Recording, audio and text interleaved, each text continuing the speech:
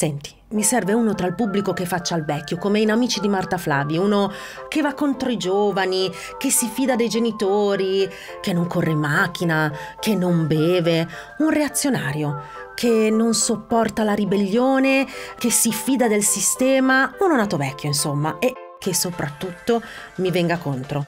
Se non esageri, te lo faccio fare. Queste sono le prime parole che Andrea Pezzi dice a un non giovane ragazzo di 19 anni. È il 1998 e MTV Italia esiste da pochissimi mesi e Toku Show è il primo programma dell'emittente musicale dall'Italia. È lì che inizia la storia dell'ospite che c'è qui accanto a me. Io sono Silvia Rossi e voi state ascoltando e vedendo Tribù, un podcast che vi trasporta in un'epoca che sembra lontanissima e invece più vicina che mai, gli anni 90, quell'epoca un'epoca in cui tutto sembrava possibile e tu potevi scegliere chi essere.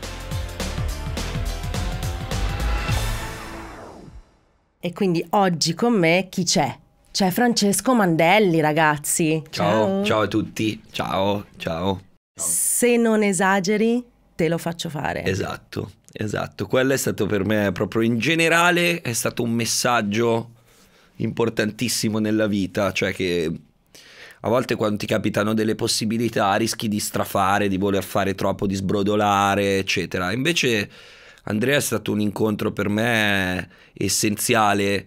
Non solo, com- non solo, dal punto di vista professionale, perché poi è stato quello che per la prima volta nella vita mi ha dato fiducia da quel punto di vista lì, ma è stato l'incontro di, di un essere umano che era completamente al di fuori delle mie dinamiche del paese, di Osnago, perché io vengo da Osnago, è stato quello che mi ha aperto gli occhi su una visione completamente diversa del mondo, e, mm, nel bene e nel male, ok, però è come stato un, un gradino sul quale io mi sono potuto mettere e vedere da una prospettiva migliore tutta la vita. Io racconto spesso questo episodio dove un pomeriggio eh, a casa sua abbiamo guardato L'Avvocato del Diavolo, ok? Un film con Al Pacino e Keanu Reeves. E cominciamo a vedere questo film e lui ogni 5-10 minuti stoppava e mi diceva no vabbè ma non capisci cosa vuol dire questa cosa, cioè questa roba è una metafora, capisci? Cioè cosa sta dicendo lui questo? Io non avevo mai visto un film così, con uno che mi spiegava tutto quello che era il simbolismo dei film di, di, Hollywood. Quindi Andrea, insomma, in quel momento lì è stato un grande fratello maggiore ed è quello che un pochettino mi ha tirato su, cioè immaginati una scialuppa di salvataggio, okay. tu sei lì che annaspi e ce n'è uno che ti dà una mano e ti tira su questa scialuppa e quindi esci un po' dal marasma della, di, di, tutto quello che è il rischio di cadere un po' nella mediocrità, di non sapere che cosa fare della vita, cioè per me è stato veramente essenziale. Perché tu in quel momento eri, eri così? Cioè non sapevi da che parte andare? Sì, allora, eh? adesso se ci ripenso, non lo so, perché poi il ricordo si confonde un pochettino con tutto quello che è successo e con il percorso. Io ricordo che ero in quinta liceo, che facevo teatro tantissimo, era la mia passione, uh, che suonavo nelle band, anche quella era una mia passione. Però facevo fatica a scuola, cioè non me ne fregava niente. Uh, adesso adesso col senno di poi non, non, so, non voglio scendere in discorsi troppo complicati, però mi chiedo perché uno al liceo debba veramente soffrire così tanto e avere quest'idea della vita che è una rottura di coglioni. Non è vero, mm. non è vero. E invece ero in questo sistema che cercava di tenerti schiacciato, che ti diceva no, le tue passioni non contano niente, tu devi passare questa roba, ed ero oppresso da quella roba lì e dalle persone che mi stavano intorno che consideravano tutte le mie passioni, tutto quello che mi piaceva una roba da scemi. Quindi sì, ero un po' oppresso, ero oppresso un po' dalla mia famiglia, cioè quel momento adolescenziale con i genitori, c'era uno scontro pazzesco, cioè c'era proprio una guerra incredibile in quel momento eh, tra me e mio papà, cose normali, cose certo. che vivono tutti. E ti giuro, ero iscritto a psicologia, ma non avevo idea di che cosa avrei voluto fare. Sì, mi piaceva teatro, ma se dicevo agli altri di Osnago che volevo fare l'attore, cioè mi diceva, cioè mi avrebbero considerato pazzo. e a un certo punto, boom, è arrivato sto gancio. E mi rendo conto di una roba che in quel momento lì io ero potentissimo, certo. come tutti i ragazzi di quell'età. Cioè tu da, da dentro, dal tuo subconscio, puoi creare la tua realtà, anche se non te ne rendi conto, tu lo fai. E io sono andato a quel provino che tu racconti, eccetera, eccetera, con la certezza e la sicurezza che io spaccavo, che ero forte, che avevo qualcosa, che ero simpatico, che sapevo stare su un pa... Cioè, non è che sono andato lì e ho detto adesso la mia vita cambia, zero. Ok. Cioè, proprio zero, non avevo idea di quello che stavo facendo. Non sapevo che cosa sarebbe successo, però sono andato lì con l'idea che avevo qualcosa di mio da dire, che avevo un mio mondo, che avevo anche nella- nel mio essere eh, non canonico, quella era la mia forza. Cioè io sapevo di non essere bello, di non essere alto, di non avere una faccia televisiva. Cioè io sono un bug. Oggi non succederebbe mai questa cosa. Cioè, Vero. nonostante ci sia tutto un tentativo di fare per me, qua lo dico, qua lo nego, però completamente artefatto di voler cambiare i modelli, poi alla fine diventano comunque stereotipi e invece Andrea mi aveva preso e la gente diceva ma tu sei pazzo. Mm. Cioè dentro MTV la gente diceva ma scusa però lui... Cioè, ero veramente una mosca bianca e Andrea diceva fidatevi, fidatevi, perché io non avevo la faccia da VJ di MTV. Eppure io dentro di me sapevo, io vado lì e me li mangio. Infatti entro dentro sto, sta stanza ed erano tutti belli, alti, biondi, venivano tutti dal- dal- dai casting di modelli, d'attore, quindi erano tutti morti. Io entro dentro la stanza, Andrea stava parlando con la cosa, mi guarda, e tu chi cazzo sei? Vieni qua a sederti vicino a me. Perché ero sbagliato, perché ero completamente un errore. Quindi mi siedo lì e dico, boom, è fatta. Adesso proprio veramente faccio lo show.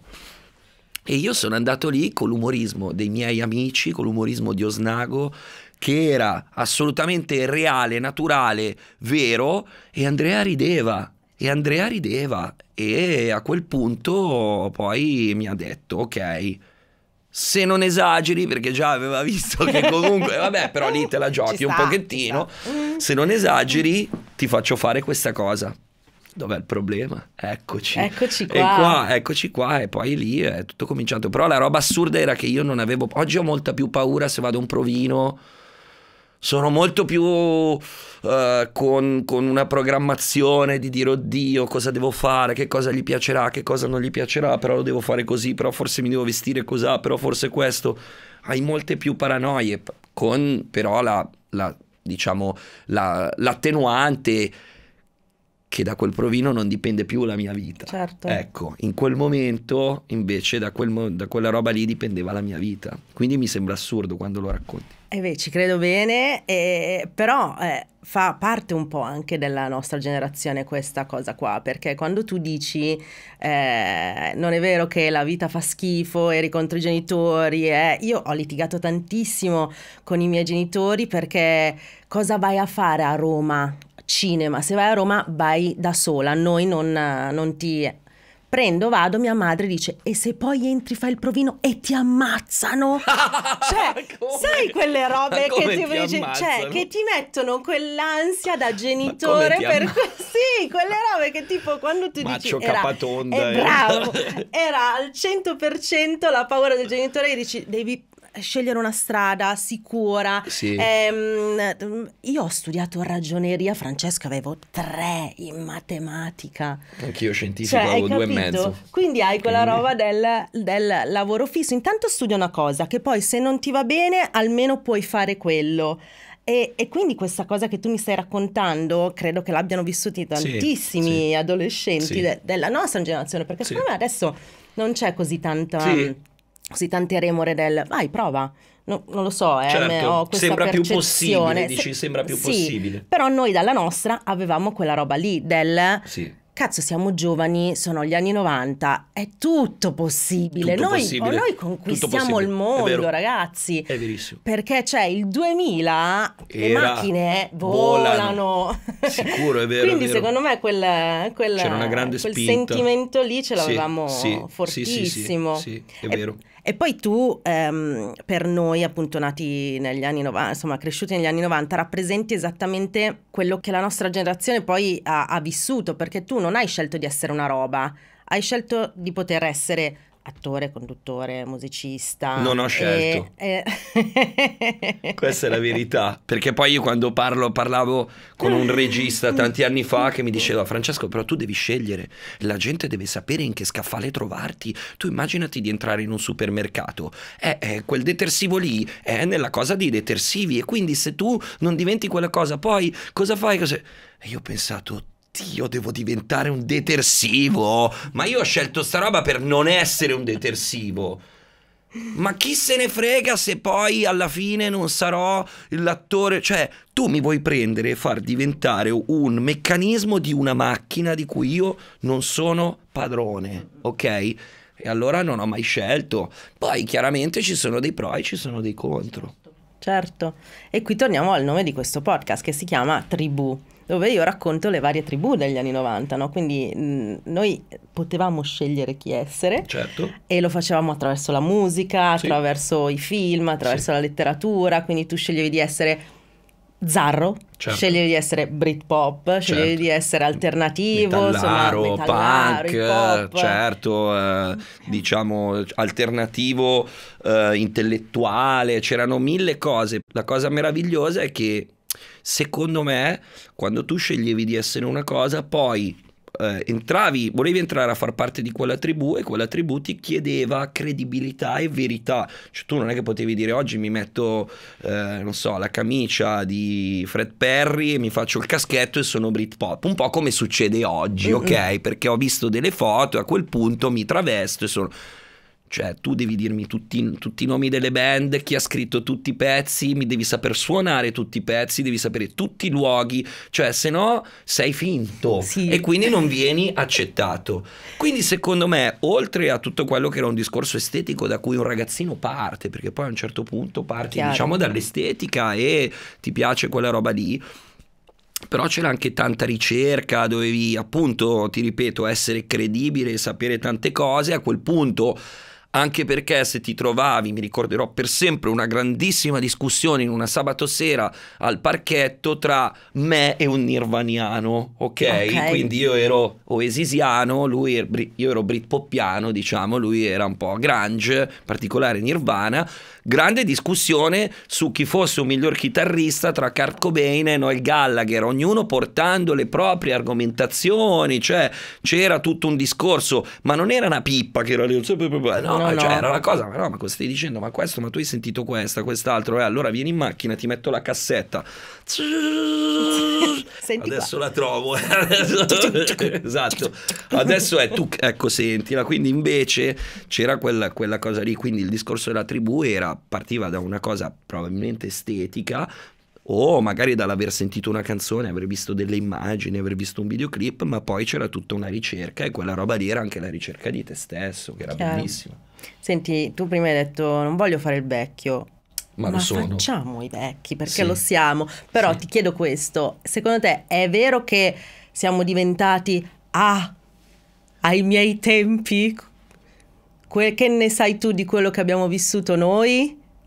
O allora, è vero che ai miei tempi, che ne sai tu di quello che, no, che abbiamo vissuto noi? Uh, non lo so. Allora, intanto io penso, penso sia vera l'affermazione ai miei tempi. Cioè, se penso a mio papà che ha vissuto gli anni 70, eh, lo invidio. Perché io ho vissuto gli anni 90, è vero, però secondo me aver vissuto gli anni 70 era ancora qualcosa di... di cioè, tutto quello che poi dal dopoguerra in avanti, diciamo dagli anni 50 in avanti, ogni decade ha portato qualcosa di meraviglioso, ma c'è stato un lento declino verso poi quello che sono diventati gli aspetti più distopici di questo momento storico. Quindi man mano che si va indietro nel tempo, secondo me, nonostante le difficoltà, um, diciamo così, di, di, di, una società che probabilmente era anche più ruvida, era anche più non so come dire, più stava ancora cercando qual era la propria identità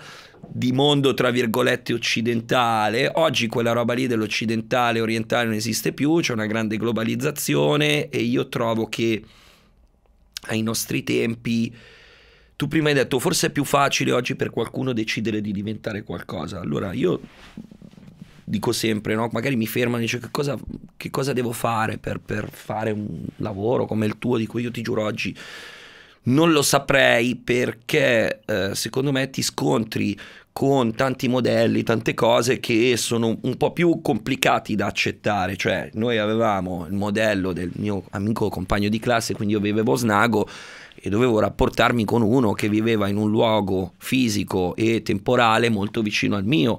Oggi con i social c'è un rapporto con i modelli, cioè del, di un ragazzo della tua stessa età, della tua stessa, diciamo, eh, categoria che però vive a Los Angeles e fa una vita completamente diversa e tu dici "Ma cazzo, io sono di Osnago, fa cagare Osnago, Dio fa schifo, mi deprimo, eccetera eccetera". Probabilmente un tempo tu vivevi quel momento lì in cui eri osnago come un momento di incubazione, ma non eri così infelice, Chiaro. ok? Oggi probabilmente è un po' più complicato rapportarsi ai tanti modelli diversi che ti propongono, ti propone la tecnologia. Sì, per me, eh, a me viene da dire ai miei tempi era così. Ieri, ieri, parlavo con un ragazzo che suona con me, diceva l'altro giorno abbiamo messo la, compila- la, la compilation Festival Bar 96. era una mina dopo l'altra, cioè era una mina dopo l'altra, adesso sembriamo anziani, però quello che voglio dire è che, no, che però quelle canzoni lì sono quando tu le ascolti per noi assolutamente rappresentative di quel modello sto- di quel momento storico e tu automaticamente fai un viaggio nel tempo che ti ricorda da dove sei venuto, da dove sei partito, che cosa succedeva nel 96. Altresì dicevamo Adesso d'estate escono quattro canzoni che sono più o meno uguali con un rapper, uno famoso e un'anziana che fa il ritornello.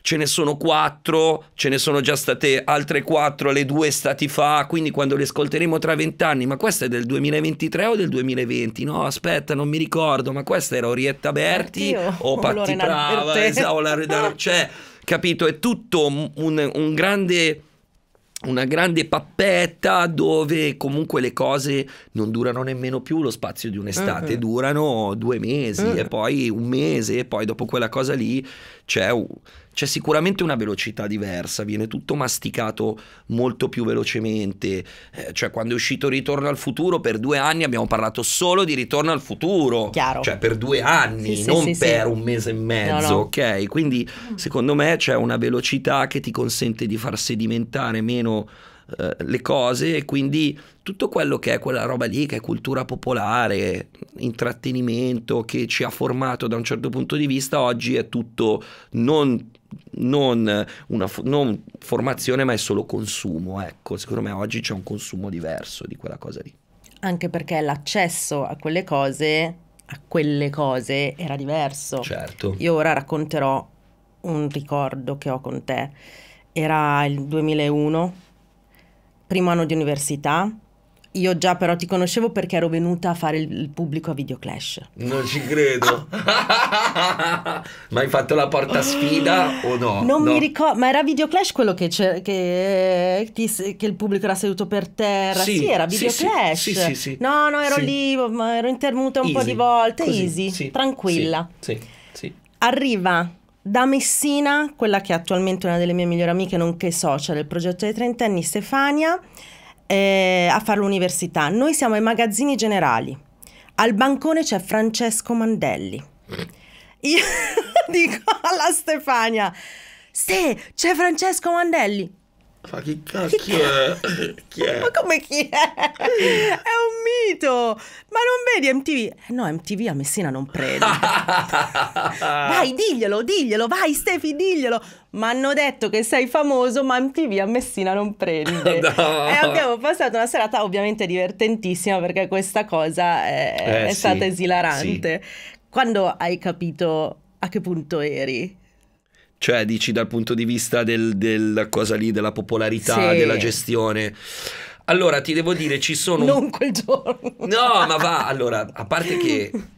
Eh, adesso riavvolgo un po' il nastro, mi ricordo, dopo una delle prime puntate di Toku Show, dopo forse un paio di puntate, io sono al Maxi Sport Merate, a Merate. Certo e una ragazza mi dice: Ma tu sei quello che ha fatto la prima proprio, la prima, ma tu fai, fai quella cosa su MTV, ti ho, ti ho, visto su MTV, sei il non giovane forse.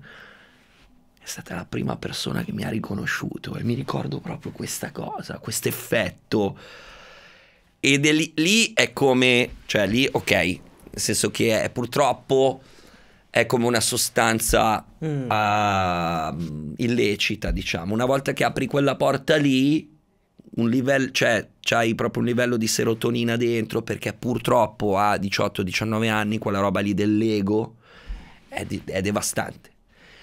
Quindi lei mi fermò e mi chiese un autografo. E io ti giuro, cioè tu cresci, immaginati, cioè non lo so se io penso alla, alla, diciamo, alla definizione di porta spazio-temporale, questo è quello, il momento più vicino, ok? Tu switchi dall'essere uno di Osnago che boh, non si capisce a attenzione, una persona mi ha riconosciuto e quella roba lì nel 98 non era così automatica perché cioè, o ti vedevano in televisione oppure non, esist- cioè, non esisteva quella cosa.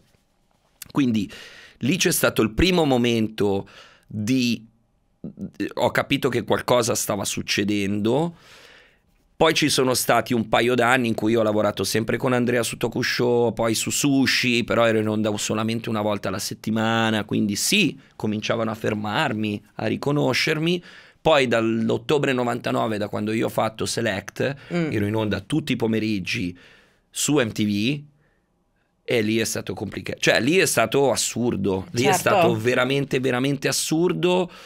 E ti dico, uh, secondo me per un ragazzino di 19-20 anni non era facile gestire quella roba lì, cioè perché poi io ho scoperto anche i risvolti negativi di quella cosa, per cui mm. passavo in corso di porta ticinese dove erano tutti più o meno alternativi. Io mi sentivo alternativo perché ascoltavo un certo tipo di musica, eccetera, però facevo parte di un emittente che era veramente pop, pop. quindi io passavo per, per, per ticinese e mi gridavano "Oh, MTV merda", così. Perché? Ma io sono... Eh, lo so, ma erano, tra virgolette, gli haters che esistevano, però te lo dovevano dire in faccia. A quel punto io a volte rispondevo, cioè a quel punto era ok, uno scontro alla pari. Ecco, questa è per esempio una cosa di cui io sono molto contento certo. perché ho vissuto un momento in cui tu, se ti stavo antipatico, me lo dovevi venire a dire in faccia e io potevo scegliere se non considerarti o risponderti. Ho preso un paio di schiaffi uh-huh. perché eh, dentro Rolling Stone a Milano alle 3 del mattino, tutti ubriachi, qualcuno mi dice oh mi stai sul cazzo, tu gli rispondi una roba che riguarda sua mamma non troppo carina, a quel punto prendi... ho preso, preso, ho preso una sberla. Però ti posso dire ma centomila volte meglio. Ma te lo dico anch'io. Perché è un grado di uh, una cosa non bella, però non ti rimane la frustrazione del messaggio social che tu dici adesso io voglio trovare questo e voglio spiegargli che è uno scontro Par- alla pari. E io da quella cosa ho imparato una lezione, ovvero che quando sono le tre del mattino qualcuno ti dice qualcosa, tu devi semplicemente scomparire. Esatto. E quindi tutta la gestione della, della, popolarità lì è stata abbastanza complessa per poi arrivare, diciamo, ai soliti idioti, però facciamo un salto di 12-13 anni avanti, quindi quando è uscito il primo film dei soliti idioti, lì è stata una roba che ha cambiato ancora tutto perché non potevo andare in giro, perché era difficile uscire di casa, perché era difficile andare all'autogrill, fare la pipì senza che qualcuno mentre facevi la pipì ti facesse una foto, cioè c'era quella roba un po' madness. E ti dico, quella non mi è piaciuta per niente, mm. quella proprio ha cioè quello lì ho capito ok, sto gioco per me è finito, basta, ah, l'ho visto, mi è piaciuto, cioè non tornerei mai più a quel tipo di, di, di popolarità. Cioè proprio una roba brutta che non, non, ti fa andare in giro, che ti cambia completamente tu, tutto, tutto il modo di vivere la tua quotidianità. Cioè quella roba lì, infatti poi fatti due film dei soliti idioti, io ho fatto retromarcio, ho detto ok, voglio vivere il mio lavoro senza dover avere questo tipo di di, di, sensazione brutta quando vado in mm. giro, ok? Quindi sì, adesso la gente mi riconosce, giustamente una mia amica che si chiama Mia Ceran diceva, mi diceva l'altro giorno, però vedi tu hai fatto ridere la gente e secondo me quando fai ridere la gente avrai per sempre un posto nel loro cuore e questo è molto vero. Cioè, quando tu fai ridere qualcuno, gli dai delle belle cose, gli fai passare del bel tempo. Poi, anche se tu non sei in onda tutti i giorni, non fai un programma tutti i giorni, non esci in un film tutte le, tutte le stagioni, eccetera, però comunque loro si ricordano di te non... e quella roba lì è una roba bellissima. Ecco, quello è un grado di popolarità che mi piace molto perché non è ah oddio è, è, la cosa dell'ultimo secondo e quindi c'è una sorta di follia nel certo. riconoscerti certo. ma è una cosa che dici oh lo so che tu, no, molto spesso mi dicono lo so che tu non mi conosci, ma tu per me sei uno di famiglia. Hai fatto ridere le persone, però le hai fatte ridere senza snaturarti, nel senso che, cioè, quel ragazzino lì dell'oratorio di Osnago è come se fosse, non è come se, cioè è qui in, quel momento, in questo momento, quindi quella percezione lì non la, mm, sì, quando hai sì. a che fare con ti ripeto, non, non, è che ci conosciamo così bene, però eh, sono sì. sensazioni, no? Sono certo. quelle robe di, di, empatia che senti, sì. no? E quindi parlando di empatia ti chiedo, um, per fare comicità ci vuole più empatia o più cinismo?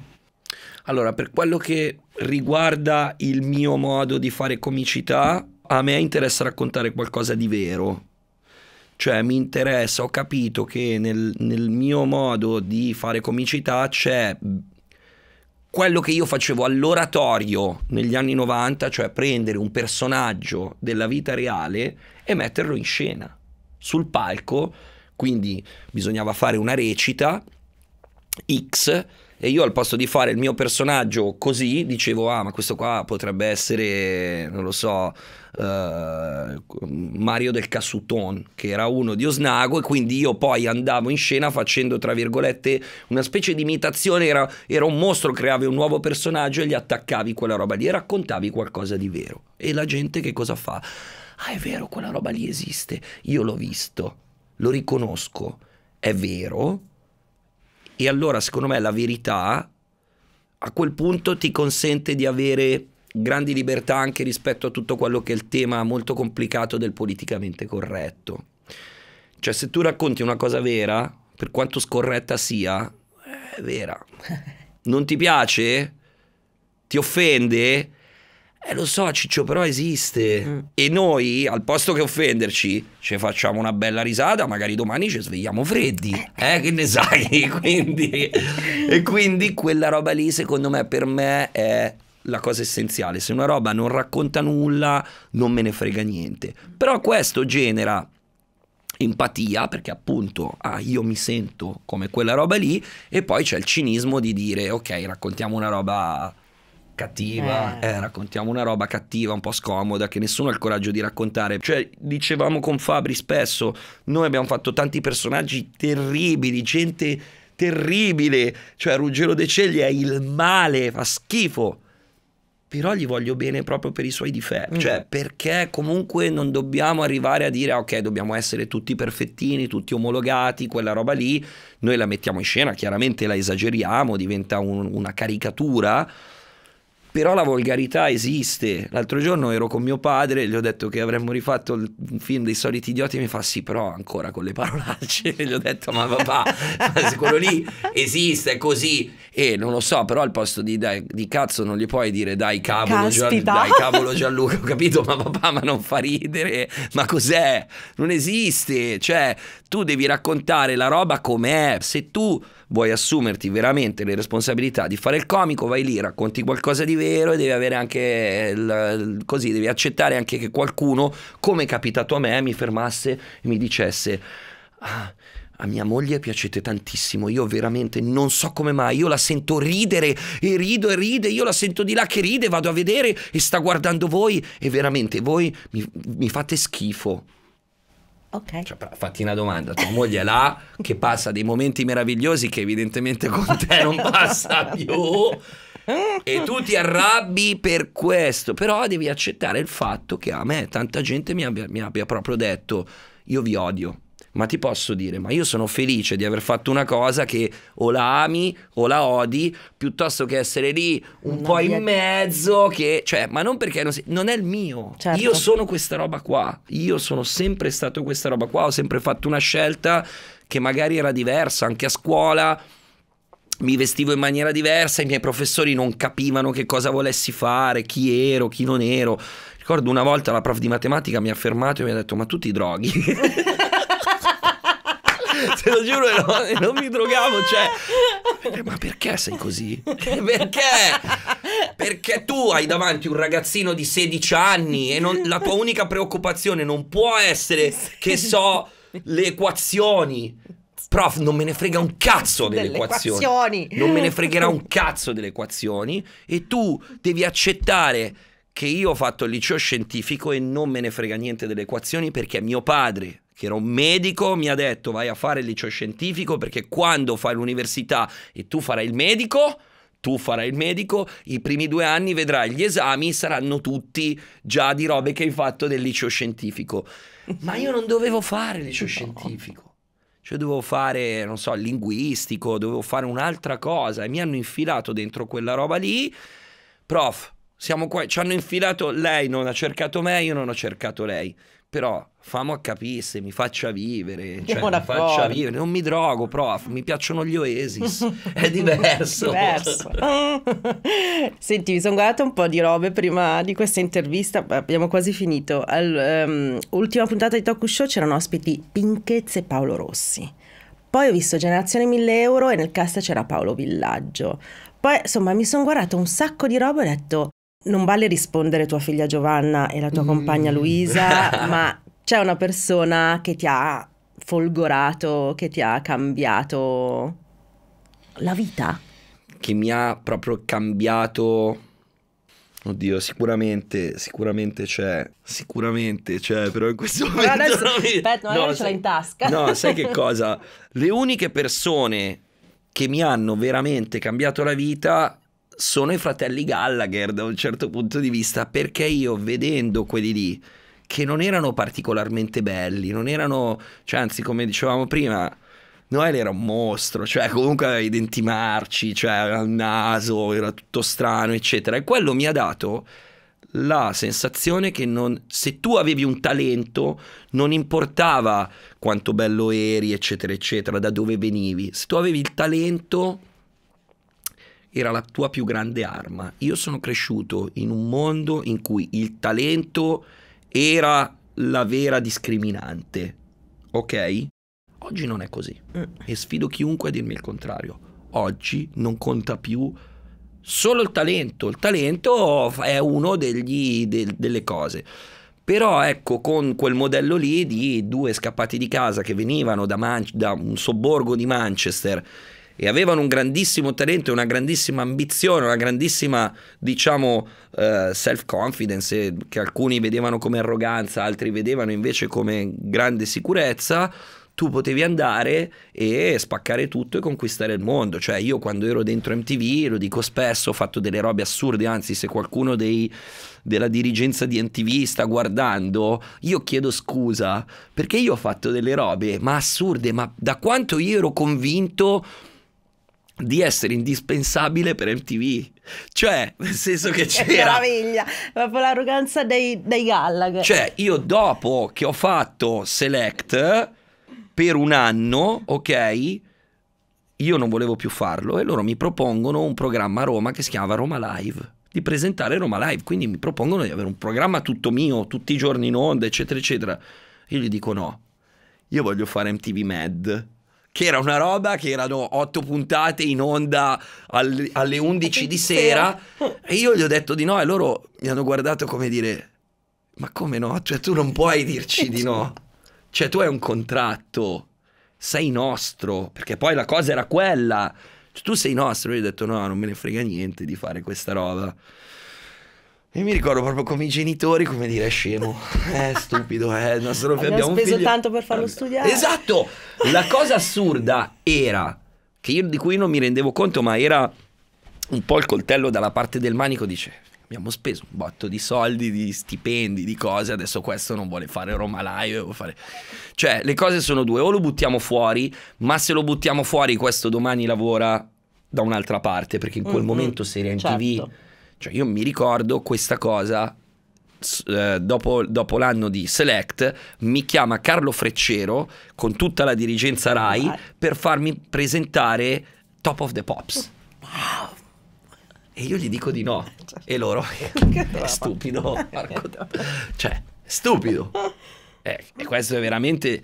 E io mi ricordo, siamo usciti di lì, ho visto il mio agente del tempo incazzato per l'unica volta come tu non puoi dire di no. Cioè io ti ho portato lì e io dentro di me ti avevo già detto, però a me non me ne frega niente di fare Top of the Pops perché io voglio stare dentro MTV e Carlo Freccero e questi qua sicuramente massoni, cioè tu immaginati gente veramente, cioè sfere altissime, ma io ero un bambino di vent'anni stupido, cioè non stupido, non ne... no. io andavo per la mia strada. Certo. Io ho detto guardate non mi interessa perché io voglio rimanere dentro MTV e loro...